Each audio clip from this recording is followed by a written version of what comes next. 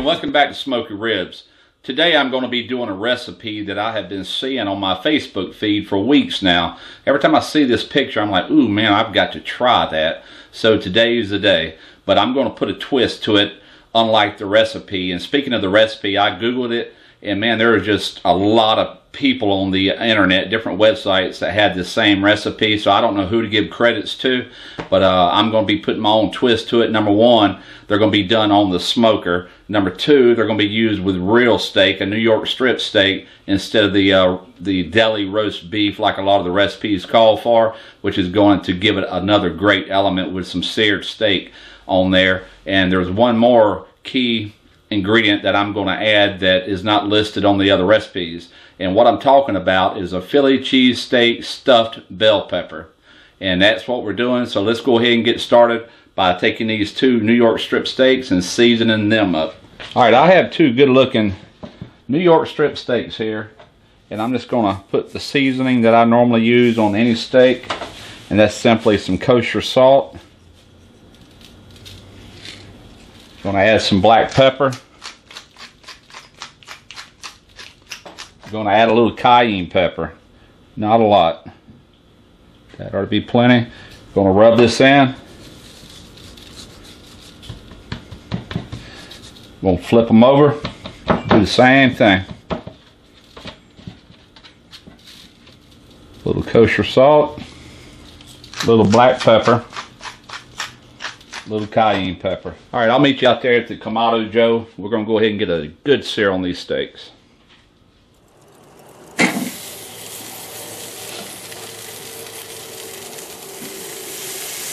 All right, I got this Kamado up to a really hot searing heat here. I got the uh, grill grates that I'm going to be doing these on. That always adds a very nice flavor to this meat because as the fat renders, it drips right below on this hot metal here and pushes that right back into the meat. Going to give it an incredible flavor. Going to be really good in these stuffed bell peppers.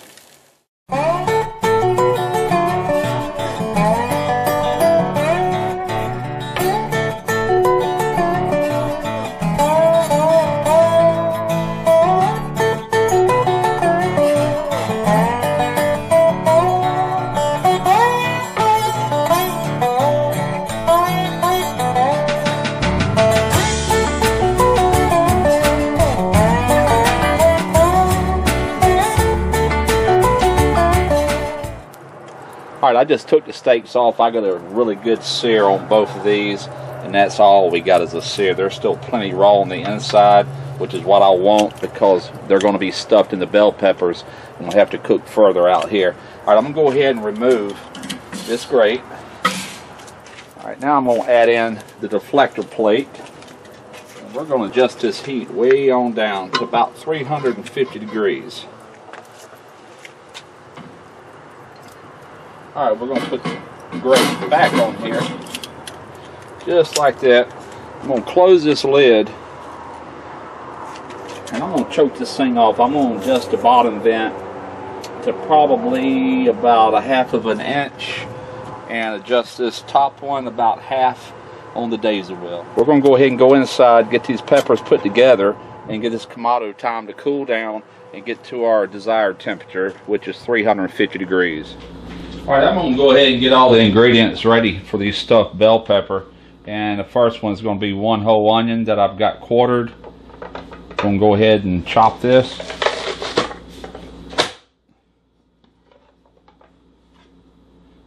This little machine here makes life so much easier. And again, one more. And the really cool part about this, if you are needing a certain amount, like in cups, it's got measurements right here. Half cup, one cup, one half, two cup. Love this little thing. I think I only paid like, what was it, $15? Wasn't even that. Okay. We'll be back. All right, I've got some baby Bella mushrooms that this recipe also calls for. And this machine also works great on these. I've already cleaned these. And to clean a mushroom, you never really want to run it underwater because they already hold a lot of moisture. you want to take paper towels and simply wipe them off. All right, I got about six of these to do. I'm going to go ahead and do the rest. We'll be back. All right, now I'm going to take these uh, two New York strips and I'm going to slice them just as thin as I possibly can all the way down.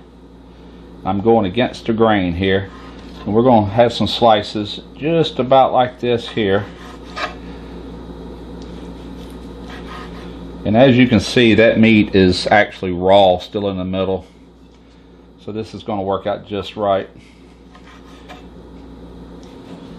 All right, I got all this steak cut up, and now what I'm going to do is I've got about one pound of provolone. I don't know that I'll need all of this, but uh, I got it out of the deli section at the supermarket, and I'm going, going to go ahead and grate all that up. All right, the next step in doing this, you want to add about three tablespoons of some good extra virgin olive oil, about three tablespoons. And into that, you want to put three tablespoons of real butter. We're going to let that melt, get happy. We're going to throw the onions in. We're going to throw the mushrooms in. And I have two cloves of garlic that we'll throw in right there at the end. We're going to go ahead and sweat these down on a medium heat, low to medium heat, and uh, let everything caramelize real good.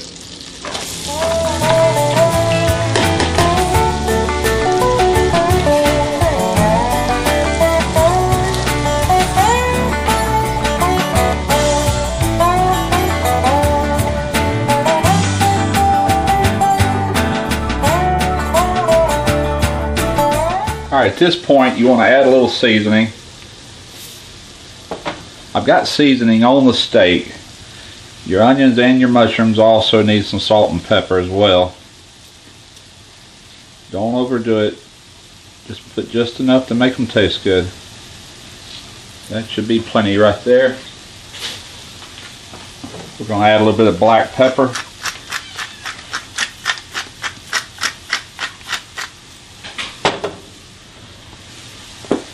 And a little bit more cayenne.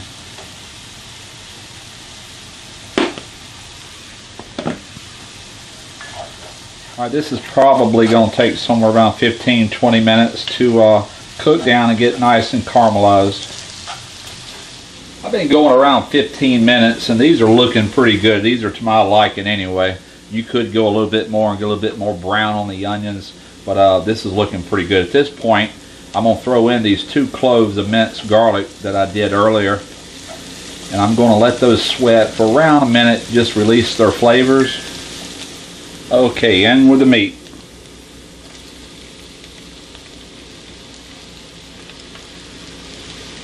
All right, like I said earlier, I'm just going to simply stir this all in.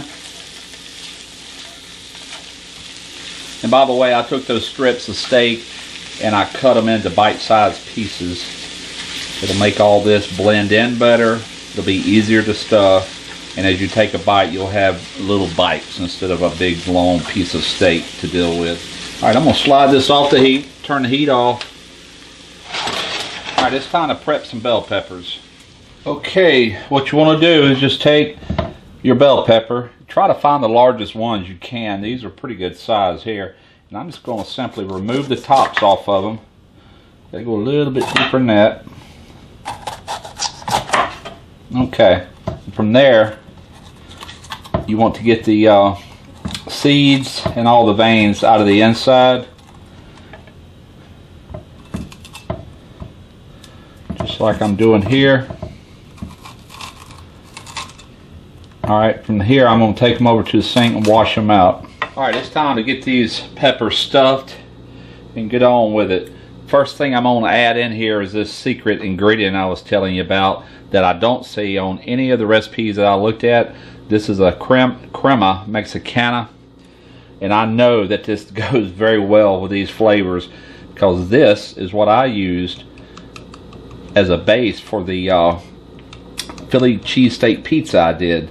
This flavor mixed with provolone is just, it, it gives you that true Philly cheesesteak flavor. So I'm going to layer some of that in the very bottom. From there we're going to take some of this provolone cheese and lay right on top of it.